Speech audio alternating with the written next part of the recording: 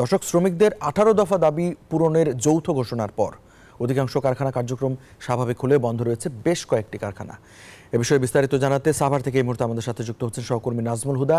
নাজমুল, গতকালও আশুলিয়ার বেশ কিছু কারখানায় বেশ কিছু মানে বিক্ষোভের খবর পাওয়া গিয়েছিল। আজকে সেখানের কি পরিস্থিতি জানাবেন?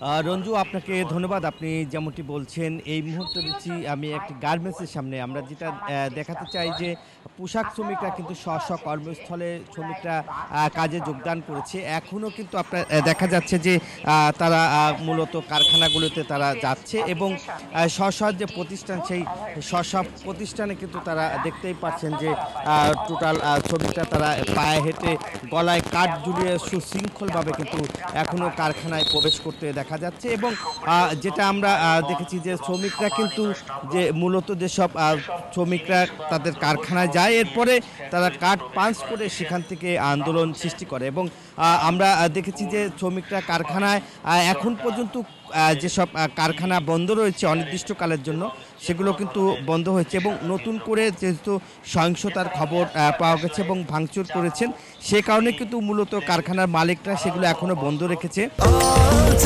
স্বাস্থ্যকর অল টাইম হানিকম সব সময় অল টাইম হেলদি লাইফ এবং অধিকাংশ কারখানায় কিন্তু খুলে দেওয়ার কারণে শ্রমিকরা কিন্তু এখন টোটাল কাজে যোগদান করছে এবং আমরা দেখেছি যে শ্রমিকরা তাদের তারা কিন্তু এখনও সারি সারিবদ্ধভাবে কিন্তু কর্মস্থলে তারা যোগদান করছে এবং যোগদান করতে দেখা যাচ্ছে এবং সেখানে এখনও কারখানায় গিয়ে ঠিক আটটা, সাড়ে আটটার পরে বোঝা যায় আসলে কোন কোন কারখানা তারা কাজ করছে না এবং কারখানার শ্রমিকরা সেখানে আন্দোলন সেই বিষয়টা তখন থেকেই আসলে বোঝা যায়।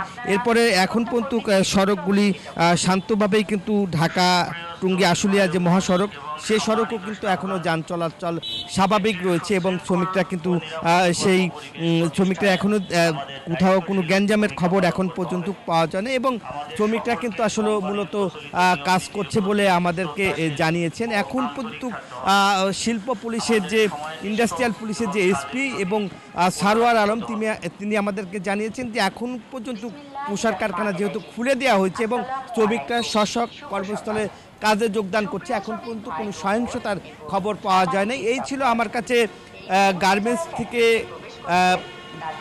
যোগদানের সর্বশেষ খবর। ফিরে যাচ্ছি নাজমুল আপনাকে ধন্যবাদ।